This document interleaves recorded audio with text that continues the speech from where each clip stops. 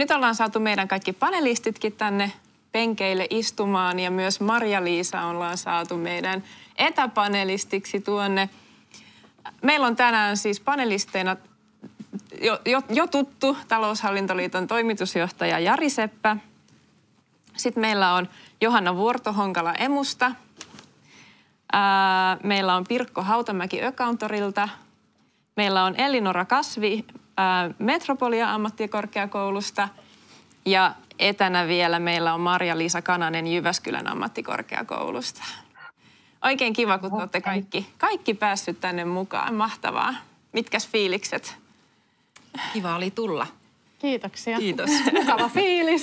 Tästä se lähtee. Tästä se lähtee. Joo, katsotaan mihin meillä aika riittää alustuksena sillä että me harjoiteltiin jo vähän tätä paneelia ja musta tuntuu, että, että tuota, tästä saisi kolmen tunnin paneelin hyvin. Mutta Lähti niin kutsua vähän lapasesta. lapasesta. mutta nyt yritetään pysyä niin kuin asia, asialinjalla. Kyllä. Riikka, johda meitä sitten, Kyllä, kun mä me yritän kovasti. lähdetään. Katsotaan, katsotaan koska, koska päästään seuraava puhuja. Mä ajattelin lähteä ihan näinkin siis kärjistetyllä väitteellä tai, tai tämmöisellä kysymyksellä liikkeelle. Ähm, me Jallun kanssa täällä liitossa, niin me aina välillä saadaan sellaista palautetta tuolta kentältä, että, että tota, työnantajat, ne ei saa tarpeeksi valmiita opiskelijoita töihin. Ja sitten taas oppilaitokset, että ne odottaa, että se käytännön työ sitten opitaan siellä töissä. Onko se asia näin kärjistetysti? Ähm, Mä voisin aloittaa Elinora susta. Tota, millainen käsitys sulla on siitä, että mitä ne työnantajat odottaa ja mitä ne tarvitsee, kun te opiskelijat sitten siirrytte työelämään? Niin. Äh, no en ole, mä oon siis toisen vuoden opiskelija, niin en ole vielä niin kuin, ehtinyt katsoa semmoisia niin vakituisen työntekijän niin kuin, paikkoja. En ole lähtenyt etsimään, äh, kun on kesätöitä etsinyt. Mutta mä vilkasin niitäkin kyllä tätä varten. Tässä just eilen vähän katoin, niin äh, Kyllä se niin tuntuu, että mitä näitä työhakemuksia kun katsoo, niin etitään siis tosi semmoista niin kuin jo niin kuin hyvin osaavaa ammattilaista. Ja niin kuin, että olisi jo, niin kuin, puhuttiinko siellä jossain, niin kuin oli jopa että rautaiset Microsoft-taidot tai niin kuin nämä Office-taidot tai Excel-taidot tai jotain. Ja sitten myös hyvin usein on niin kuin, että kaivataan jo valmista työkokemusta, sille vähintään kaksi vuotta, jossain oli jopa viisi vuotta, mutta mun mielestä se ei ollut kuitenkaan esimiestason työ tai ainakaan selkeästi ollut niin kuin nimetty esimiestason työksi, niin se on niin kuin, että etitään tosi niin kuin valmiita, kokeneita työntekijöitä, mikä on sitten vähän haastavaa itselle, kun lähtee koulun penkiltä, kun ei ole valmis ja kokenut kolme vuotta työelämässä ollut työntekijä. Mm. Kyllä. Miten tota, Johanna, sä paljon te rekrytoitte ja, ja, ja teillä, teillä on työntekijöitä. Kyllä. Niin mikä, miltä tämä Elinoran vastaus susta kuulostaa? Varmasti ihan totta ja huomaa itsekin sen, että enemmän me ollaan sit viime aikoina rekrytoitu niitä henkilöitä, joilla se kolmen vuoden työkokemus on ja se johtuu ihan siitä jotenkin tulospaineisesta aikapulasta, mitä me tässä kyllä yrityksenä ollaan nyt paljon myös ratkottu sillä tavalla, että ollaan painettu happea ja pikkasen hidastettu sitä meininkiä, jotta me pystyttäisiin myös tarjoamaan vasta valmistuneille tai harjoittelijoille töitä. Ja nyt me ollaan itse asiassa otettukin, niin kuin, meillä on varmaan neljä tai viisi tota, tullut just tänä vuonna äh, harjoittelijoita aika nopeasti, saaneet kyllä asioista koppia ja sitten jotenkin olleet tosi oma-aloitteisia. Että tämä on, tää on kyllä tämmöinen munakana-ongelma, jota hirveän hankala ratkaista, koska nämä molemmat väitteet on ihan totta, mitä sä esitit.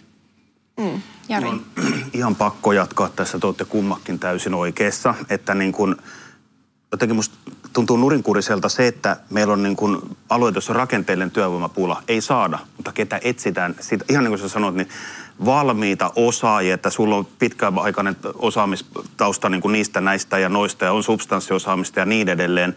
Mutta kyllä jotenkin nyt tuntuu, jos mä vähän niin kuin kärjistä liittoravana tätä asiaa, niin tota, onko työnantaja nyt vähän niin kuin nukkunut onnensa ohi, että kyllähän työnantajalla tässä tapauksessa tämmöisessä tilanteessa on vastuu siitä, että kun tarvitaan porukkaa, niin myös sitä niin kuin kouluttamisesta, että, että pitää ottaa vähän koppia myös itselleen, että ei voi ulkoistaa niin kuin asioita, tämä ei meille kuulu.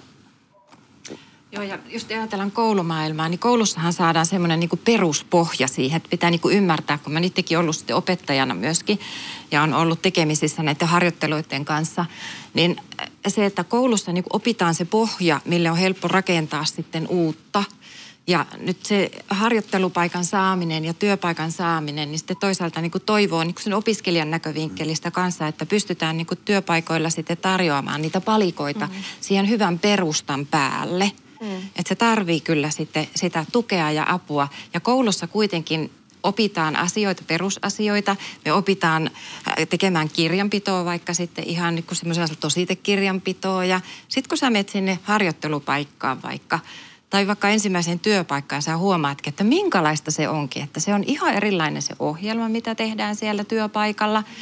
Siellä vaan niin kuin suihkii sähköisesti erilaisia tositteita ja sun pitääkin osata nyt ymmärtää, mitä siellä koneen takana tapahtuu. Että kyllä siinä on sitä työnantajan vastuuta siitä oppimisesta kuitenkin, että se koulu ei, ei pysty tarjoamaan ihan vaan niin kuin teknisestikään kaikkea sitä, mitä työelämässä on. Mm. Mites Marja-Liisa, sun näkemys, näkyykö niin kuin esimerkiksi yritykset siinä koulumaailmassa tarpeeksi? Tehdäänkö tarpeeksi esimerkiksi yhteistyötä? No ei sitä varmaan tarpeeksi tehdä, mutta kyllä sitä tehdään. Että kyllä meillä on ihan jatkuva yhteys. Siis niin kuin voi sanoa, että alan eri, alan eri opettajilla niin on jatkuva yhteys työelämään. Ja tuossa kompaan ihan täysin, että koulu ei tarjoa valmiita opiskelijoita, mutta mä kyllä itse näen, että, että työntekijän rekrytointi on investointi joka kerta, että kyllä siihen täytyy hiukan myöskin panostaa. Ei koulu pysty tarjoamaan kaikkea kaikille, vaan esimerkiksi tuota, just tämä, että se teoriatausta tulee kyllä vahvasti meiltä. Ja totta kai tulee osaamistakin, mutta ei välttämättä juuri siihen järjestelmään, että mitä se työnantaja käyttää. Ehkä tuohon voisi vielä kommentoida, että on hyvä pointti, mutta että ei mekään tarjota valmiita työpaikkoja. Että mehän sitten kaikki ne yhdessä työpaikat rakennetaan, että vaikka tavallaan työnantajaa edustan, niin kyllä sitten me meinä henkilöstönä emuna ollaan kokonaisuutena. Ja meidän niin työnantajan näkökulmasta velvoite on just se, että me luodaan ne rakenteet sille oppimiselle ja just sille, että tehdään myös ö, sellaisia opintopolkuja tai polkuja, että ihan vasta valmistunut voi siihen tulla. Ja se on ihan selkeää, että se pitäisi olla niin kuin vastuullisen työnantajan tehtävänä luoda ja tehdä myös näitä paikkoja. Joo, se on kiusallista, mitä viittasin vähän, mitä aikaisemmin sanoit siitä, että niin kuin että niin kuin tarvitaan erilaisia ohjelmia niin kuin yrityksissä, että viedään ja koulutetaan ihmisiä, mutta kyllä monissa yrityksissä kilpailu on tosi kovaa tällä hetkellä. Se on niin kuin fakta, siinä maailmassa eletään ja se maailma tulee niin kuin jatkumaan ja ehkä se on tehnyt sen, että ei ole niin kuin löysää yrityksissä enää. Siellä ei ole niin kuin aikaa perehdyttää ja se on jopa taakka, että perehdytetään ne. Ja ajatus, että sulla on niin kuin henkilö, joka pystyy täyspäiväisesti niin kuin sataprosenttisesti vastaamaan pelkästään perehdyttämisestä, niin se on ihan huikea investointi tänä päivänä ja se on minusta hankala epäyhtälö. Mm. Elinora, onko sulla niinku semmoinen fiilis, että, että tota, onko niinku harjoittelupaikkoja tai kesätyöpaikkoja tai, tai niinku tämmöistä alan työkokemusta helppo sit saada? Äh, no omasta kokemuksesta äh, ei ole. Et, no ykkösvuonna kyllä yritin silloinkin jo hakea, vaikka ei ollut ehkä, kun meillä ainakin Metropoliassa se niin kun suuntautuminen valitaan vasta toisena vuotena, niin ykkösvuonna sä oot saanut vähän silleen kaikesta perusopin, niin ei ehkä sitten ollut niin, kuin niin valmis niihin töihin, mutta en niin kuin kuitenkaan sit saanut mitään. Mutta nyt sitten toisen vuoden opiskelijana ja kuitenkin oon itse just laskentatoimeen mennyt ja periaatteessa kirjanpitohommia niin kuin etin, niin kyllä siinä sitten tuli vähän semmoinen, että olisiko mä voinut saada paremmin töitä, jos mä olisin jo siinä ykkösvuonna niin kuin päässyt kesätöihin, koska näin niin kuin muuten mä silleen, että mä pystyin tarjoamaan mun työhakemuksessa sitä, että no mun kouluarvosana sillä hetkellä oli uh, täysvitonen. Ja silleen, että okei, sen paremmaksi on vaikea niin kuin mennä, mutta en mä sitten niinku yhden kesätyöpaikkahaastattelun sain ja myös sit sain sen paikan, niin siitä olen tosi iloinen, mutta niin kun useita paikkoja hain ja mihinkään yhteenkään muuhun haastatteluun en päässyt, niin vähän niin kuin jään miettimään, että mistä se on niin kuin kiinni, että onko mä sitten vaan huono persona niin kuin niissä työhakemuksissa, koska mä nyt toivoisin, että se ei ole ainakaan mun niin kuin koulutusmenestyksestä, koulumenestyksestä kiinni. Miten teidän koulussa, Marja-Liisa? Siis nyt tässä kohtaa, että mä en edes usko, että meillä ensimmäisen vuoden opiskelijat tai eka vuoden jälkeen opiskelijat lähtee hakemaan alan töitä, että, koska siellä on silloin takana vain peruskurssit. Ja siis itse asiassa mä en ole nyt kyllä edes jutellut tänä vuonna näiden ensimmäisen vuoden opiskelijoita, siis jotka aloittaa toista vuotta, että, että onko he ollut niin kuin alan työpaikoissa. Mutta kun mä itse näen, että siinä täytyy, että me ei voida, siis ensimmäisen vuoden peruskurssin jälkeen ei todellakaan ole valmis, eikä voi ajatella, että ehkä ihan jotain peruskirjauksia tai tällä, mutta kun kesätyöläiset yleensä sijaistaa näitä kesätöihin meneviä työntekijöitä, ei kesä, kesälomalle jääviä työntekijöitä, niin silloin täytyy oikeasti osata jo järjestelmiä ja muuta. Että, että kesätöihin mennä opiskelemaan ihan järjestelmän käyttöön, niin kun siellä ne asiantuntijat on lomilla, niin kyllä se on aika mahdoton yhtälö. Että sitten alanpaikkoja haetaan toisen vuoden ja sitten kun toisen vuoden jälkeen sitten kun harjoittelu alkaa ja muuta. Ja onhan sillä ajankohdallakin merkitys, että että keväällä, jos ajatellaan, että harjoittelupaikka alkaisi tammikuussa, niin kyllä yleensä tilintoimistossa on aikamoinen ralli päällä, että ei silloin ennätetä perehdyttää. Et siinä mielessä niin harjoittelua kannattaa, tai jotenkin opiskelua siihen alalle, niin kannattaa yrittää jotenkin järjestellä silloin hiljaisempana ajankohtana. Tässä on pakko esittää, kuulkaas, haaste kaikille linjoilla, olijoille, kaikille alan toimijoille, että sitten kun Ellinora lähtee etsimään itsellensä niin kuin sitä vakituista työpaikkaa, niin sä tulet olemaan vahvoilla silloin, kun sulla on harjoittelupaikka ja kesätyökokemusta alla, että nehän on siinä valinnassa oikeasti niin kuin vahvoilla. Ja ne, jotka hakee vasta niin kuin vakituisena työpaikkana ensimmäistä työpaikkaa, niin se on ihan niin kuin tosi hankala tilanne. Mutta eikö niin, tässä on vähän hankala tilanne, että oikeasti mä esitän vakavamielisen haasteen, että tarjotkaa harjoittelupaikkoja, kesätyöpaikkoja ja niin edelleen, että tähän olisi hienoa, että olisi väärinpäin tämä koko asetelma, että ö, näitä työpaikkoja olisi niin kuin enemmän tarjolla kuin opiskelijoilla, niin tähän olisi niin kuin paljon miellyttävämpi tämä meidän niin kuin paneelikeskustelu. Kyllä. Kompaan Jaria aivan täysillä tuosta. Siis tuo on nimenomaan sitä, että ensimmäistä työpaikkaa ei haeta sitten, kun on tradenomipaperit vaan ensimmäistä työpaikkaa haetaan sitten, kun on sellainen osaaminen, että kuvittelee tietävänsä, että että mitä tilitoimistossa tehdään. Yleensä se tulee toisen vuoden jälkeen. Itse asiassa aika hauska. Otan haasteen vastaan. Meillä on niin hyviä tota, niin, tradenomi-pohjalla tai opiskeluita tekevä, teke, ää, tekeviä tällä hetkellä ää, pitkälle niin kuin ihan työssä, mutta tekevät vielä sinänsä harjoittelua, että opinnäytetyöt on tekemättä ja niitäkin he tekevät nyt sitten meille niistä asioista, jotka meille on tosi tärkeitä. Hmm. Ja tässä haluan muistuttaa sen, että niin tradeami-opiskelijoita tietysti on, on liikkeellä, mutta muistetaan se ammattiopistopuoli, se toisen, toisen asteen opiskelijat Kyllä. myöskin, koska siellä niin on merkonomeja, jotka opiskelevat nimenomaan tälle alalle. Siellä on alanvaihtajia, aikuisia ja nuoria henkilöitä monenlaista, eli kyllä niin kuin löytyy niin kuin varmasti sitä, sitä hyvää, hyvää harjoittelijakaartia. Ja sitten mun mielestä se harjoittelu, se kuitenkin kestää pitemmän ajan, niin sehän on hirveän hyvä sellainen niin kuin työpaikkahaastattelu vähän molemmin puolin. Eli sitten myöskin se opiskelija, kenelle tämä asia on kuitenkin työelämässä uutta, niin näkee, että onko tämä oikeasti se mun juttu. Että mä tykkään tästä työstä, mä haluan hakea tänne alalle ja kehittyä tässä alassa ja erikoistua vaikka miksi. Mahdollisuuksiahan riittää vaikka mihin tästä. Mm. Ja sitten toisaalta voi sanoa, että ei, tämä ei ollut yhtään sitä mun juttua, että ei kiitos, nyt mä lähden ihan toisille urille tässä mun työssäni. Ja sitten taas toisaalta työnantajakin näkee sitä harjoittelijasta, että onko tämä sellainen niin kuin investointi, mikä me tehdään.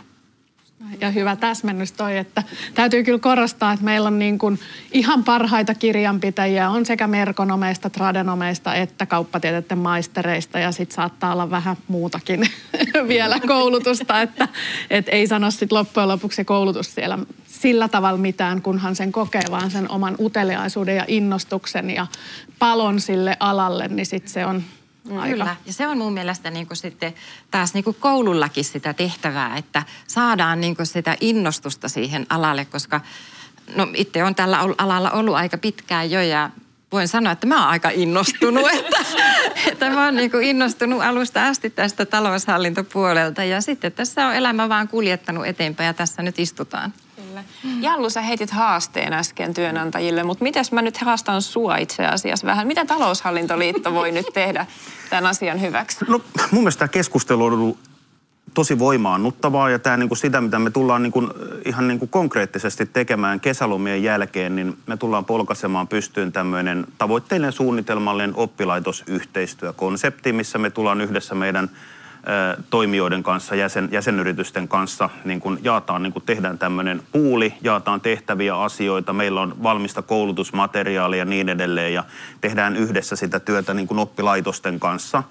Ja tota, niin, tämä on se, mitä me tullaan tekemään. Toinen puoli on sitten se, että, niin kun, että tota, niin, koska meillä on hyvä aineisto ja materiaalia, niin pystytään ehkä niin kuin vaikuttamaan. Oletan ainakin, että meillä on jonkinnäköinen käsitys, mitä toimialalla tapahtuu, niin minkä tyylisiä niiden opetussuunnitelmia voisi olla, että oltaisiin sitten valmiita vastaamaan siihen työnantajien haasteeseen, mutta suhtaudumme tähän kyllä niin kuin vakavasti ja tullaan äh, tähän keskittymään. Enkä voi olla mainitsematta nyt sitten sitä, että niin kuin tiliinstituutti-säätiö, mikä toimii tässä liiton ohella ja tehdään näitä KLT, PHT, äh, pätevyyksiä, niin tiliinstituutti jakaa myöskin, jolle te olette tienneet, niin tota, stipendejä niin kuin, ö, lopputöistä. Ja tänä vuonna niitä on jaettu 28 kappaletta, mikä on ihan kunnioitettava määrä, että, että kyllä me koetaan tämä asia niin kuin tärkeäksi vähän kahdella putkella ollaan liikenteessä. Sitten siirrytään vähän niin kuin siitä opiskelusta nyt siihen työelämään. Ja, ja aika lailla, niin kuin mua ainakin henkilökohtaisesti kiinnostaa, kiinnostaa juuri tämä, että kun tämä ala on sellaista – missä pitää niin kuin koko ajan oppia. Niin mihin loppuu niin kuin oppilaitoksen vastuu alalle kouluttamisessa? Mistä alkaa työnantajan vastuu ja mikä vastuu on sillä työntekijällä itsellään? Tota, Elinora, onko sulla niin kuin ajatusta siitä, että minkälaisia töitä sä toivot pääseväs tekemään, kun sä tota, menet, pääset työelämään? Niin, no siitä en nyt vielä, koska mulla on nyt just mä oon äh, menossa siis assistant accountantiksi nyt mm. kesätöissä. Ja just tätä niin kuin äh, aiemmin mainitsit siitä, että, niin kuin, nyt mä voin sitten kesän kokea sitä, että mitä on kirjanpito ja et jos se sitten iskee, niin sitten mä voin etsiä kirjanpitoharjoittelupaikan, mutta sitten jos ei, niin sitten mä voin vielä niin kuin vähän miettiä jotain muuta. Uh, mutta jos nyt vastaisin niin vaikka esiin tästä mun tulevasta kesätyöstä, mitä mä nyt sen ö, osalta odotan, kun sen aloitan ensi viikolla, niin et, kyllä mä niin kuin odotan siis sitä, että, niin, että pääsen tekemään sitä, mitä mä olen niin kuin koulussa opet, opetellut. Että niin kuin, et kyllä mä niin kuin odo, ole, ode, oletan ja odotan, että mä olisin koulussa oppinut tai mulle olisi opetettu asiat semmoisella tavalla ja sellaisia asioita, että – kun mä menen työpaikalle, niin se ei ole silleen ihan niin kuin, että okei, unohda kaikki, mitä sä oot oppinut, nyt täällä tehdään näin. että niin kuin, et pääsen tekemään niitä asioita, mitä mä olen oppinut, esimerkiksi just kirjanpitoa ja sitten reskontraa. Ja niin kuin, niin, oliko Millaista tukea sä haluaisit saada? Mitä sä oletat tai haluaisit, että se sun työnantaja niin kuin tukisi sua siinä sun työssä? Niin ehkä niinku sit sitä, se, semmoista tukea, että niinku, et just, että ei, ei odoteta, että mä menisin sinne ja olen täydellinen ja osaan niin kuin heti kaiken, vaan että just, että on niin kuin mahdollisuus ja niin kuin, että annetaan niin kuin kysyä ja että, että, että mä saan kysyä apua ilman, että se niin kuin avun kysyminen tai niin kuin merkitsisi sitä, että, mä, että mut leimattaisiin, että okei, että, että nyt Elinora ei osaakaan mitään tai että se ei ymmärräkään mistään mitään, miksi me otettiin tänne töihin. Tai semmoinen, että, että se ei niinku leimaisi mua sen mukaan, että, että mä en osaakaan, vaan että saisi niinku kysyä ja oppia sen mukaan. Kyllä. Mites Johanna, millainen se on sitten se maailma, kun teille tulee niitä vastavalmistuneita henkilöitä töihin, niin millaiseen, millaiseen duunipaikkaan ne sitten tulee? No ainakin maailma on sellainen, niin kun, että jos mä ajattelen meidän asiakasyrityksiä, jotka meille tulee, musta tuntuu, että puolet on silleen, että born global. Että saman tien sinne mm. isoon maailmaan, ihan sama missä ollaan, mihin se myynti sitä tulee Shanghaista ja Jenkeistä ja muualta. Ja sitten meillä ryhtyy vasta valmistuneet sitten selvittelee sitä, että aha, äh, Amerikan arvonlisäveroa osavaltiokohtaisesti ja näin. Että se on vähän sellainen monimutkainen ja osittain aika haastava ja kiehtova ja sellainen, että järjestelmiä on vaikka kuinka. Jos ajatellaan, että tulee tekemään vaikka kirjanpitoa tietyllä järjestelmällä, niin sitten näissä on niitä liitännäisiä verkkokauppoja ja erilaisia alustoja. Että, että se on aika kompleksi se maailma verrattuna vaikka siihen, että kun mä aloitin debetin ja kreditin mm. tai plussan ja miinuksen hakkaamisen, niin tota, se oli aika suoraviivasta. Niin, ei, se oli mulle vaan plussa ja miinus. Mä pääsin jo sinne saakka. Mutta tota, et se on semmoinen aika kompleksi ja sit niin kun, se on ollut myös kiva nähdä näissä meidän uusissa nuorissa työntekijöissä, että heillä on aika peloton asenne siihen, että meillä saattaa vähän vanhemmilla ihmisillä itseni mukaan lukien olla semmoinen, että no, aha, no, enpä ole kuullutkaan, että no niin. Mutta se on aika kompleksi ja se ehkä mitä sit itse odotan taas niin kun, oikeastaan kaikilta työntekijöiltä, että ensin niin kun, me tykätään vastata ja tykätään auttaa, mutta ensin ottaisi vaikka sen Googlen ja sieltä nopeasti katsoisi, että löydänkö mä sen vastauksen sieltä, että itsekin ottaisi sen vastuun siitä osaamisen kehittämisestä. Mutta sitten kun se todennäköisesti voi olla, että ei löydy sieltä aivan heti, eikä oikein tiedä mistä etsii, niin sitten kysytään. Mutta et mm. välttyisi vähän niiltä semmoisilta tosi hassuilta pieniltä kysymyksiltä, mitkä selviisi, niin kuin selviäisi jokaisella itsekin. Toisaalta niin kuin just se, että niin kuin hassuja kysymyksiäkin saa ja pitää no, esittää, että, että tavallaan niin kuin se, se pikkuhiljaa siitä sitten opiskelijoillakin, jotka tulee sinne uuteen työpaikkaan, niin oppii sitten, mikä on niin sitä, sitä tavallaan sitä perusasiaa ja mistä pitää niin kuin lähteä etsimään muuta. Että siihen tarvii varmasti tukea siellä, siellä työpaikalla sitten.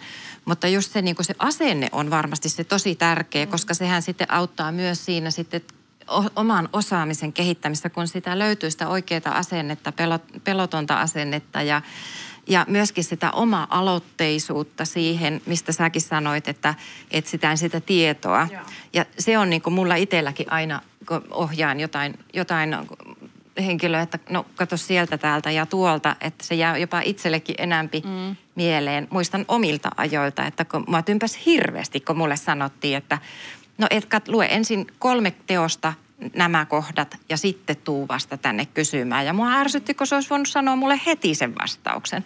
Mutta en mä olisi sitä oppinut ikinä itse, jos mä olisin sillä tavalla toiminut. Näetkö sä miten sitten, että mikä se on just se niin kuin sen työntekijän oma vastuu siitä oppimisesta ja mikä, on niin kuin, mikä jää sitten niin kuin työnantajalle?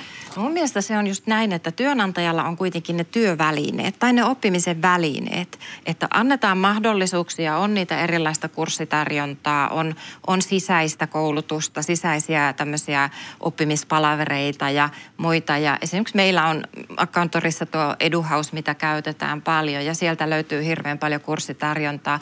Plus kaikki tietolähteet, mitkä työnantajallahan on, teilläkin on varmasti vaikka minkälaista tietolähdettä, niin nämä, nämä tavallaan ne työvälineet on annettu ja työn tekijällä olisi sitten niin kuin vastuu käyttää ja hyödyntää ja myöskin se oma sisäinen palo ja aktiivisuus siihen asiaan tietysti auttaa.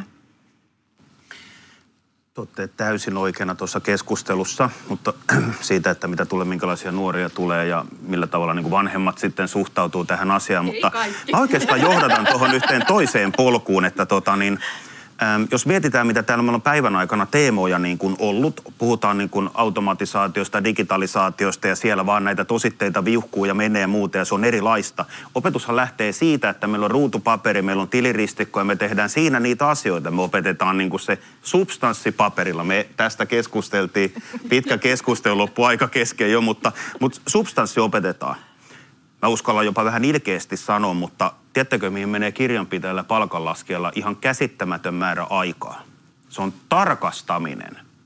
Me ei luoteta siihen, mitä järjestelmät tekee pihalle ja sen takia on syytä osata kulkaa se substanssi, että jos sieltä tulee miljoona tuhannen euron sisään, niin sitten minä ymmärrän, että se menee pieleen. Tai jos järjestelmä laskee väärin, niin minähän sutasen tuossa ruutupaperilla sen sivussa. Mutta jos mietitään, niin kun, että onko tämä tämän ajan ilmiö, mä tiedän mikä tulee olemaan vastine tähän, niin kun, että substanssi ilman muuta pitää olla ja niin sen pitääkin olla. Mutta voisiko tähän niin kuin työvoimapulaan auttaa se, että kun ollaan sähköisiä järjestelmiä, digitalisaatio, automaatiota niin edelleen, kummatkin käytetään sekä Metropoliassa että niin kuin Jyväskylässä käytetään niin kuin johtavia järjestelmiä tällä tavalla, niin pitäisikö niin kuin valmistaakin opiskelijoita suoraan siihen uuteen aikakauteen, että ei sun tarvikkaan enää kaikkia osata, että täällä niin kuin liittymät ja rajapinnat ja systeemit toimii? Mites Maria-Liisa? Uh, tuota, komppaan kyllä tuossa. Eli nyt ei tarvitse kaikkia osata, mutta että pitää joku asia osata hyvin. Ja sitten mä näen kyllä ihan oikeasti se, että, että kyllä töissäkin voidaan erikoistua sillä horisontaalisesti, että, että kun yhden hengen tilitoimistot häviää, se on aivan selvä asia, niin silloin siellä toimistosta löytyisi niitä eri alojen osaajia sillä että todellakaan kaikkien ei tarvitse osata kaikkia. Voidaan erikoistua horisontaalisesti Tästä oli eilen puhetta nyt tässä valmistelevassa keskustelussa, mutta että se on nimenomaan sitä tulevaisuutta.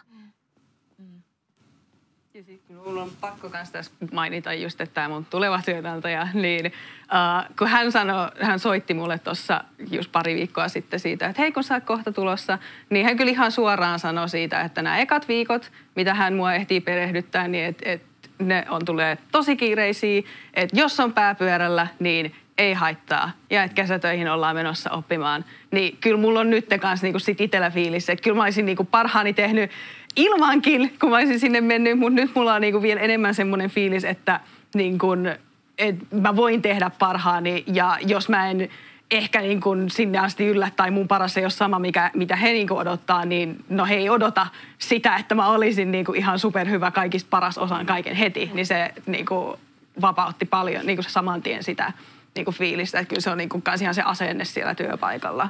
Se on tosi tärkeä. Niin, mm, tosi paljon. Hienolta viisasta työnantaja sulla, että mm. onnittelut Kyllä. tästä, tästä match, matchista. Kyllä. Vai miten se sanotaan? Niin, ja tuosta vastuusta vielä haluan sen ihan lyhyesti Joo. vaan sitäkin, että, että toki niin työnantajallakin on sitä vastuuta siinä, että antaa aikaa. Eli se, että jos niin kuin, kun meillä on tehokkuusmittarit paukuttaa koko ajan, niin jos ei anneta aikaa siihen osaamisen kehittämiseen ja ylläpitämiseen, niin se yhtälö on aika mahdoton. Että toki se sisäinen kiinnostus ajankohtaisten asioiden selvittäminen itsekin niin kuin sitä vaistomaisesti tekee sitten omalla ajallaankin, mutta myös se, että työnantaja ymmärtää, että se on oikeasti hyödyksi myös se aika, mitä tarjotaan. Sitä. Tämä on pitkä matka, tämä ei Kyllä. ole kvartaalitaloutta Aivan. eikä kuukausitaloutta siinä mielessä, kun kehitetään osaamista ja kehitetään yrityksen taloutta mm. ja niin edespäin, niin se on pitkä matka ja se pitää nimenomaan tehdä niin, että se resurssoidaan sinne työsuunnitelmiin se osaaminen, osaamisen kehittäminen tai joku uuden asiakkaan haltuunotto, joka on ajateltu, että siinä menee jatkossa 20 tuntia, mutta alussa siinä voi mennä 40 tuntia ja siellä voi oppia arvonlisäverotuksesta ja prosesseista ja järjestelmistä vaikka mitä. Mm. Mutta se on työnantajan vastuulla kyllä. Ja toisaalta työntekijän vastuu sitten kertoo, että hei, noin sun suunnitelmas ei kyllä nyt pidä paikkaansa. Kyllä. kyllä. Jari. Pakko tarttua tähän vielä, koska Tämä on tosi hienoa, kun mietitään näitä urapolkuja asioita, mistä nyt viitattiin, että se ura ei ole sitä, että aina ajatellaan, että se menee vertikaalisesti, että sä niin kuin meet jotenkin niin kuin ylöspäin, mutta oikeasti se, mitä tämä uusi aika, ajan aikakausi, mikä tästä alkaa, niin urahan voi olla horisontaalinen. Nimenomaan sitä, että tulee asiantuntijatehtäviä, sä kehityt substanssiosaamisessa ja tulet johtavaksi asiantuntijaksi ja oot sitten siinä niin kuin viisauden helmi sitten siinä kohdassa, tai sitten sä menet järjestelmälle tai mihin tahansa muualle, että, että se on mun mielestä tässä niin kuin hienointa, mutta pitää muista muuttaa jotenkin niin kuin sitä ura, urakäsitystä, että mitä se niin kuin tarkoittaa, koska tämä horisontaalinen ura on mun mielestä tänä päivänä jopa vielä arvokkaampi kuin se, että niin kuin mennään jotenkin ylöspäin. Mm, kyllä. Vielä viimeinen nopea kysymys Jallu sulta. Mikä on, tai sulle, mikä on taloushallintoliiton vastuu tässä alan osaamisen kehittämisessä? No kyllä se, mitä mä sanoin, että me otetaan niin kuin, minä lupaan itseni edustaman yhden järjestön puolesta, että, että me otetaan tämä niin kuin vakavasti nyt tämä toimiala, anteeksi, oppilaitosyhteistyö ja siihen, että me, niin kuin, meillä on valtava määrä erilaista niin kuin peruskoulutusta, jatkokoulutusta ja muuta, ja me mahdollistetaan niiden oppimisympäristöiden jakaminen niin kuin, sovittujen asiasta kiinnostuneiden niin kuin oppilaitosten kanssa yhdessä meidän jäsenten kanssa. Me suhtaudutaan tähän vakavasti ja ymmärretään roolimme olla tämmöinen ehkä niin kuin magneetti ja kokoonpanova voima tässä. Avataan ovia. Hienoa.